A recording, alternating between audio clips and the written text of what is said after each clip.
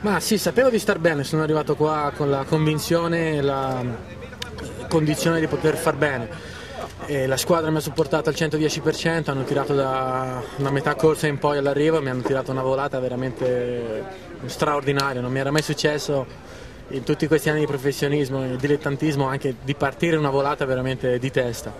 Però è andata bene. Sì, il percorso qua mi porta fortuna perché ci ho già vinto due volte e niente, adesso rimane ancora venerdì, quella di finale Emilia, dove un anno mi ha portato bene e un anno mi ha portato malissimo. E quest'anno speriamo sia l'anno che mi porti bene.